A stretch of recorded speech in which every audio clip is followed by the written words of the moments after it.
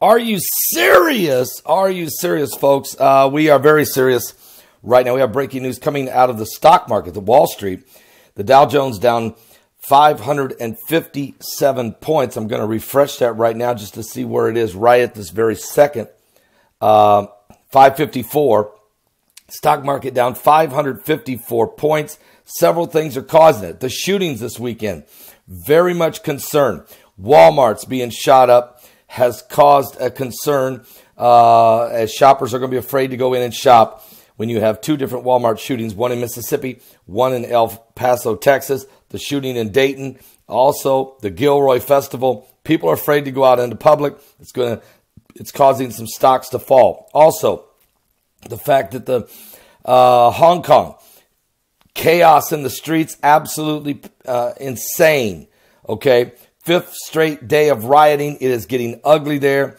And uh, we'll tell you more about that. I have a complete report on what's happening in Hong Kong. But because of that, incons- that, uh, that insecurity in the markets with Hong Kong and Asia and the shipping and receiving and all that going on, that's also, especially the fact that there is uh, the tariff situation where the President of the United States is threatening to put an extra 10% tariff on all of Chinese goods. That right there affecting the Chinese market along with the Hong Kong riots, which is then affecting the American market. So there's several things going on here.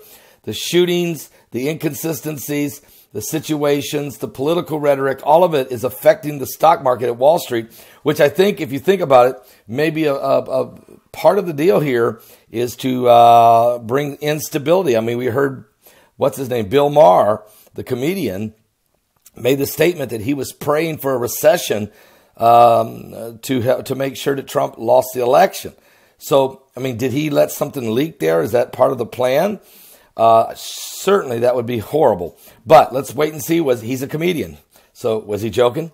What? I don't know. Uh, anyway, that is the situation. Stock market is struggling today, although it is still very, very, very, very strong.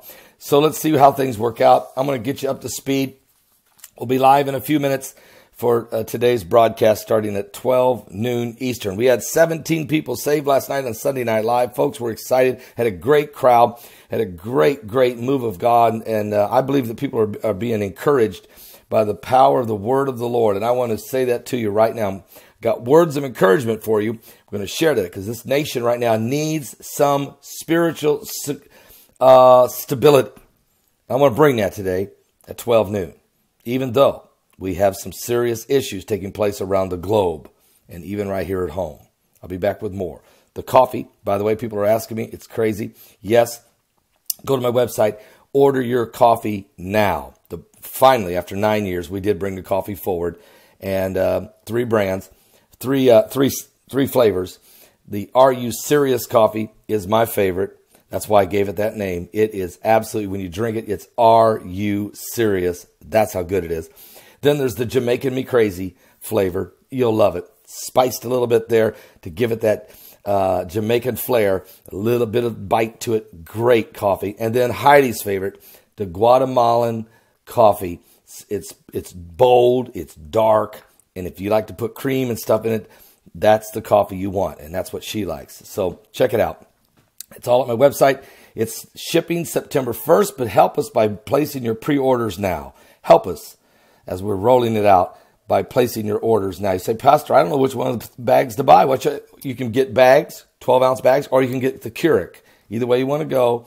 And if you don't know which brand, which you don't know which um, flavor you like, buy all three. Okay, and then figure it out. What? I'll be back at 12 noon, guys. Let's get some people saved. Let's get some hope restored. We're living in the last days.